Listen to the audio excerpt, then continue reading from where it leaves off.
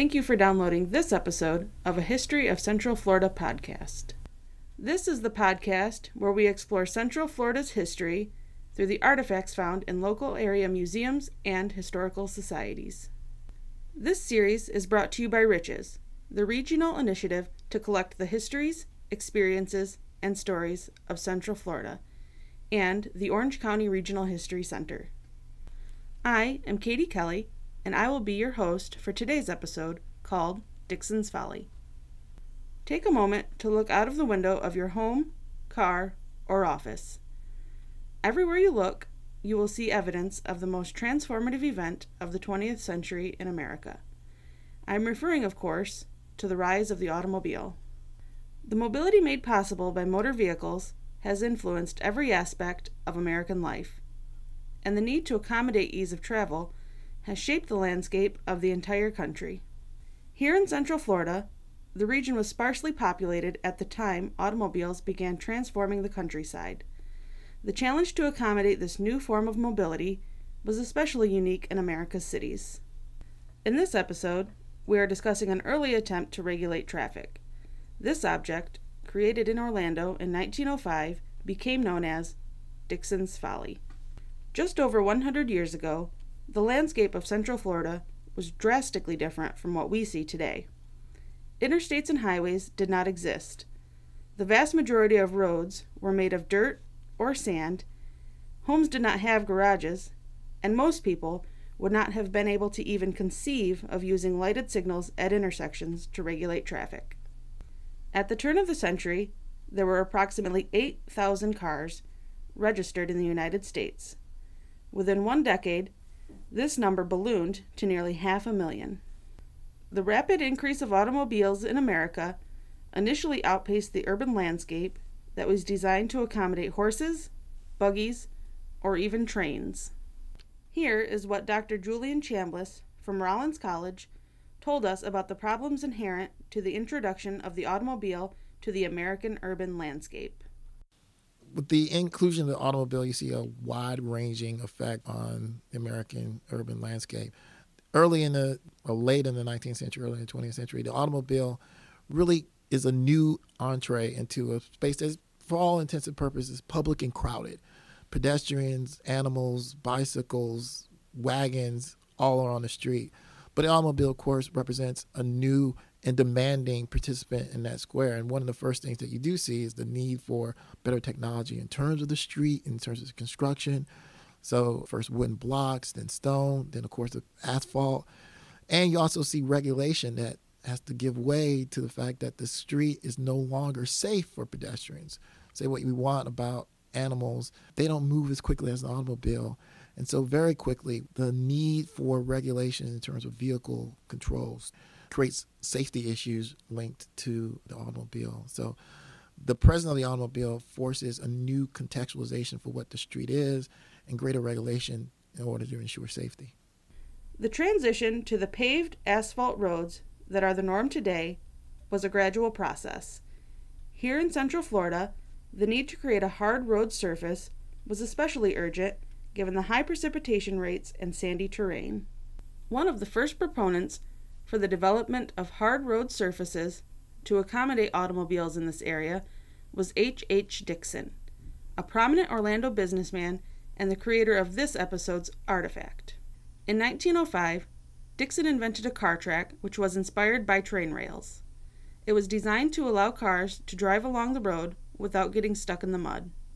The Orange County Regional History Center owns a segment of track that was salvaged in the 1940s when it was removed at that time to make way for pavement. Originally, two cement tracks were laid parallel to each other on Lakeview Avenue, allowing one car access to the road without getting stuck in the mud. Dickson's intention was that this invention would provide a relatively inexpensive solution to Orlando's bad roads problem. Unfortunately, Dickson's good intentions were doomed to failure. Cars traveling in opposite directions along the track would meet in the middle, requiring one car to not only back off the track, but to completely pull off the road, exacerbating the very problem the invention was intended to avoid. Thus, the invention soon came to be regarded as Dickson's Folly. Dickson's Folly is a somewhat humorous example of the impact the automobile had on cities at that time. While the physical spaces of our country were being adapted to accommodate the automobile, a profound psychological change was also taking place amongst Americans that would eventually allow the automobile to emerge as one of our most significant cultural icons. Dr. Fon Gordon of the University of Central Florida spoke to us about this change in the American mentality regarding the automobile. Certainly, automobiles were available, both um, domestic and foreign. Both men and women drove. They were considered the toys of the elite. So the elite had them first because there were two things you did with cars you toured and raced. And touring, that meant that people went in rural areas. And there were roads in rural areas because, of course, people drove carriages and rode horses but cars tended to frighten horses and run over chickens and dogs and other kinds of livestock. And so rural residents resented automobiles because they were dangerous and they weren't able to afford them. And tension and animosity against automobile drivers in some places was so intense that automobile drivers were actually stoned you know, residents would throw things at them in an effort to discourage their their driving in their neighborhoods. And some of the early laws that were passed were laws that required theoretically drivers to have someone walk in front of them and let people know that someone driving was coming along.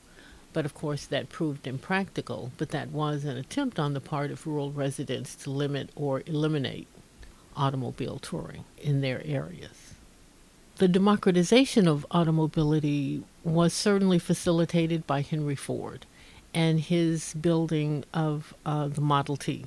Because of mass production, he was able to bring the price down below $300 so that it became affordable. So once the Model T was introduced, that created right this moment of democratization of the automobile and then the middle class and the working class could afford automobiles and not just the elite. As local doctors and farmers embraced the automobile and adopted it for their work, local residents began to accept it as a factor in their lives, and this helped to lead to its popularization. Throughout the first part of the 20th century, Dickson continued to advocate for the construction of hard road surfaces in the Orlando area.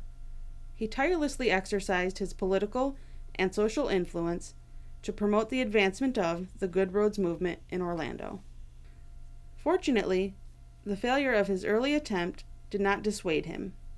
He eventually earned the title the Father of the Good Roads. Few inventions have transformed life in America as completely as the automobile. Because of the automobile, we can travel virtually anywhere in the country independently. In fact, the personal independence afforded by the automobile has become an integral part of our American identity, since most adult Americans own a car regardless of income, geography, or occupation. Additionally, in Central Florida, the automobile helped to create the area's regional identity as a tropical tourism magnet. As early as the 1920s, Florida was a popular tourist destination for the ever increasing ranks of auto owning Americans. Known as the Tin Canners, these enthusiasts would hop in their cars and tour Florida's scenic routes and enjoy its warm climate, natural beauty, and abundant hunting and fishing. Attractions, roadside camps, and motels to accommodate tin can tourists began to spring up throughout Central Florida as business minded men realized there was significant money to be made from auto driven tourism. Dickson's Folly is a reminder of the impact the automobile had on the transformation of the physical landscape of the city. As we have seen here, the transformation did not stop with our physical world. The automobile changed the way Americans think about space, mobility, and personal liberty. Here in Central Florida, the democratization of the automobile was a hugely influential factor in creating the cultural identity that still exists today. We hope you have enjoyed this episode of History of Central Florida podcast. For more information about Dickson's Folly and other artifacts that tell the history of Central Florida, please visit the Orange County Regional History Center at 65 East Central Boulevard, Orlando, Florida 32801. Make sure to join us for our next episode titled Turpentine Industry.